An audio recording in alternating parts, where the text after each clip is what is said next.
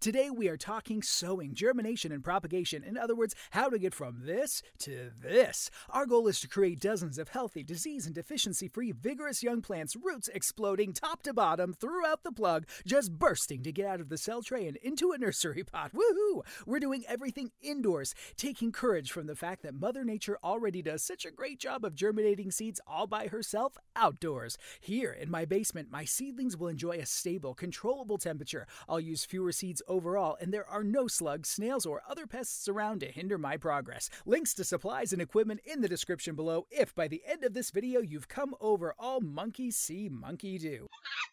Sounds like you're ready. Let's get started. I'm sowing Batavian lettuce and a bunch of different tomatoes. Lettuce is a light feeder, while my tomatoes, on the other hand, are standing and is my choice of heavy fruiting, fast growing annuals. So, I'm making up two separate seedling mixes a light feeding mix for stuff like lettuce, and a heavier feeder seedling mix. The only difference is the amount of powdered organic nutrition I'm adding. Seeds are an amazing evolutionary adaptation because they allow plant life to take some time out until conditions are just right to start the next generation. Let me quickly show you the grow tent I'm using for propagation. Of course, you don't have to use a tent, a bright windowsill and a warm room will suffice. I can start a lot of seedlings using a whole lot less floor space and there's a lot more protection from pests. This is my Homebox Vista Medium. I've been using it for about two years now. It measures 2 feet by 4 feet. Actually, it's an inch or so over 4 feet long, 125 centimeters to be exact. The extra inch is important because it means it can accommodate four foot long lighting fixtures and garland growing trays, for example. With one shelf like this, I can fit eight full size propagators. It comes with a second shelf affording theoretical space for 12 propagators, but I like more vertical space, especially with multi array T5 fixtures. A cool feature with this tent is that shelves can be added, height adjusted, and removed without having to dismantle the tent. My basement has my home's hot water pipes running through it, which helps keep ambient temperatures in the mid 60 degrees Fahrenheit or around 18 degrees Celsius,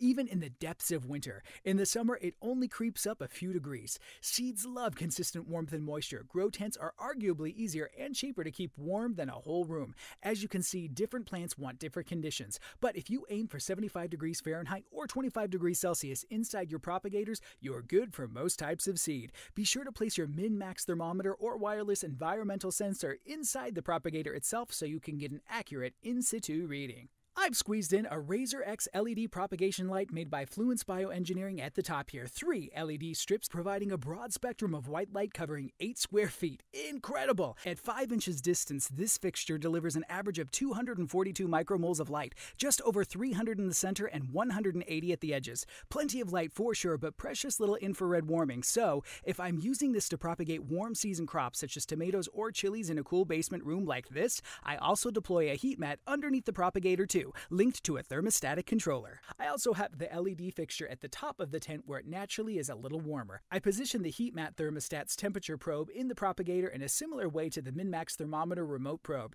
For cool season crops like lettuce, there's no need to bother with heat mats unless it's really cold.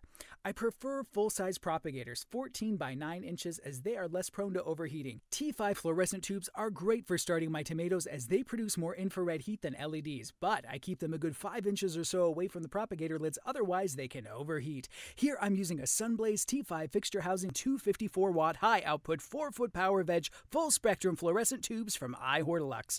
The form factor of this fixture is a lot narrower, so only capable of covering two propagators. Seedlings prefer multi-point diffuse lighting positioned directly above them so they grow straight up. Note that I only switch my grow lights on once seedlings have begun to emerge. Using light from the get go isn't normally an issue though, and some species, like mint, need it for germination.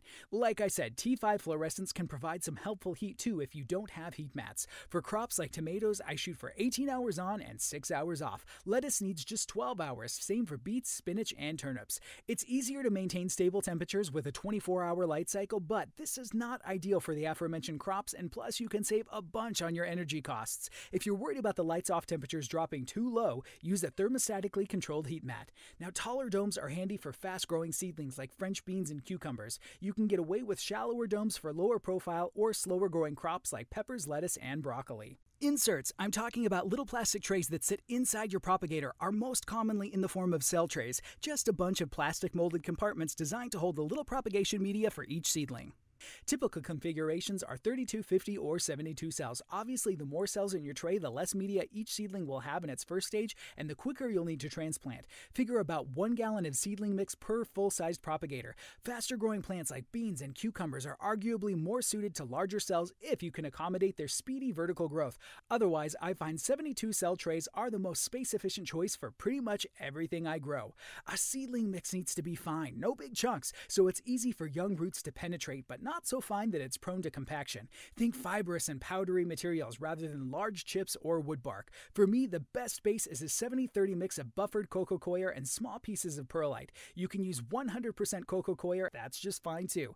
I just find that the added perlite helps to mitigate the risk of overwatering and overcompaction. You can buy it pre-mixed and ready to use like this. The 50-50 coco perlite mixes and other high porosity mixes are designed for older plants. This particular brand, EcoThrive, already comes with insect frass pre-mixed in too, providing a nice broad spectrum of nutrition and microbiology. So, my lettuce mix, a gallon of 70-30 coco perlite, 2 cups of compost, 10 grams of powdered organic nutrition, and mix that all up in a bucket. Then I take a liter of reverse osmosis water. Use the purest water you can find. I add a gram of beneficial biology and 5 milliliters of kelp extract. Stir it up and pour it over the seedlings mix in the bucket. Mix together really thoroughly, and your seedling mix is ready to go for your cell Seedlings want a broad spectrum of nutrition nitrogen for stem and leaf growth, along with phosphorus and potassium for root development and overall vigor. Some growers hear phosphorus and potassium and they think they should use a powder nutrient mix designed for bloom. But my seedlings just need a trace, not an abundance, and too much phosphorus can inhibit the growth of beneficial mycorrhizae fungi. Propagation is always the most cost effective time to add this stuff, especially mycorrhizae. My tomato seedling mix is exactly the same, except I'm using 20 grams of meal mix grow formula.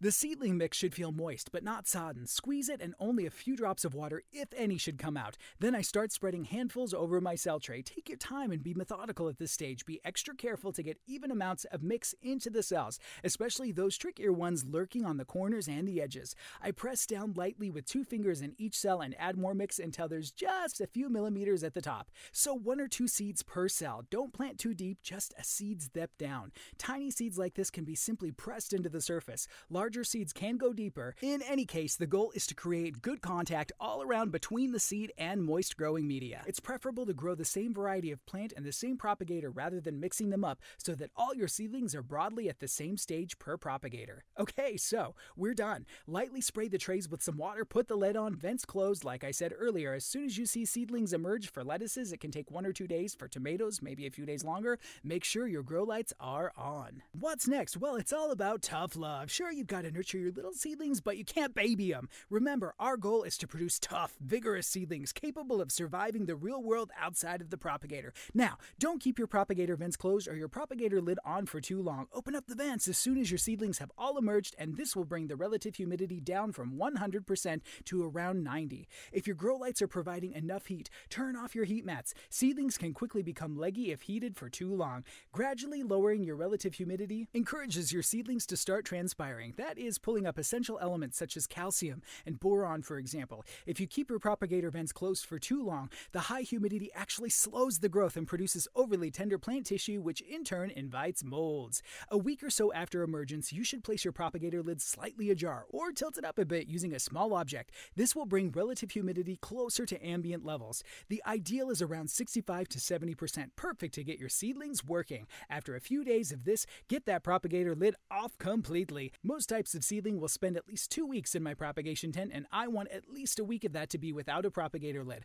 My grow tent is ventilated using this 6 inch hyperfan dialed down to minimum on 24 7. I recirculate the exhausted air back into the room. No need to vent it to the outside world at this stage. Of course, if I had a room full of propagation tents, I would need to exchange the room's air once every three or four minutes. I turn the fan up to around 40 or 45%, but no more once I have a full tent of transpiring happy seedlings. The last thing seedlings want is a gale force wind, though. All Homebox Vista tents come with these handy adjustable air vents that allow you to make really subtle micro adjustments to the direction of incoming air. You can see what I mean if I show you through the viewing window. I don't want to see too much movement, just a shimmer. So up here, I use a small oscillating fan to blow a gentle breeze across my seedlings, particularly important when the cell trays start to get crowded. Try to primarily move the air between plants and the light rather than blowing strongly on the plants themselves, or they can dry out. Let let's talk irrigation. You shouldn't need to re-moisten your seedlings for the first three or four days. If you start to see the top of the seedling mix lighten in color like it's drying out, use a sprayer to mist them with pure water.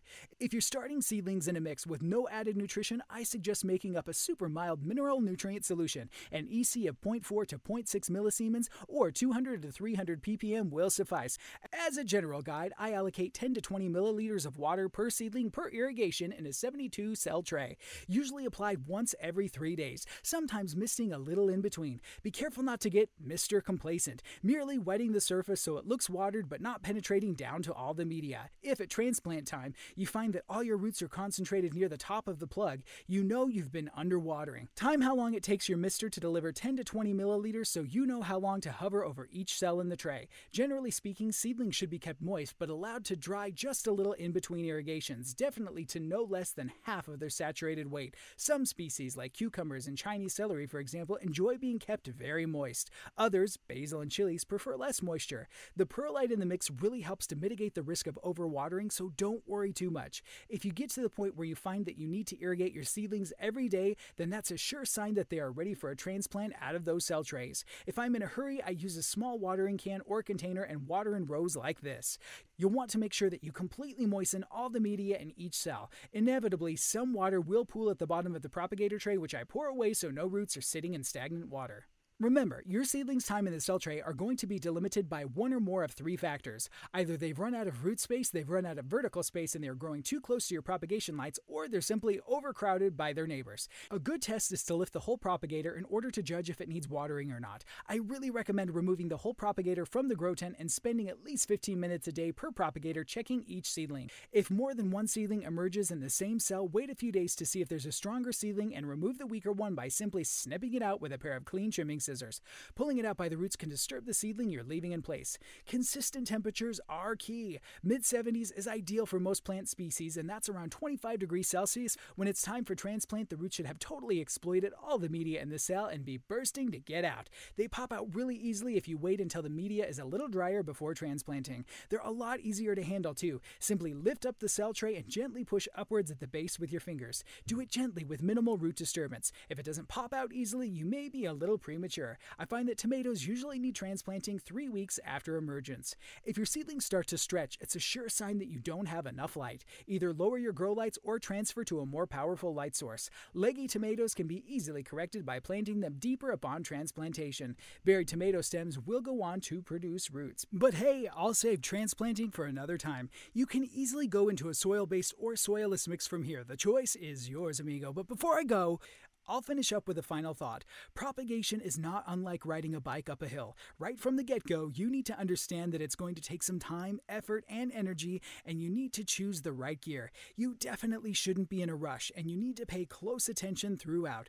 Reaching the top of the hill is like getting all your transplanting done, looking proudly at all your plants ready and raring to go in their final stage pots. So long as you don't take your eye off the prize, it's freewheeling all the way down the other side of the hill into harvest, amigos amigos. And on that note, this is Everest saying bye bye.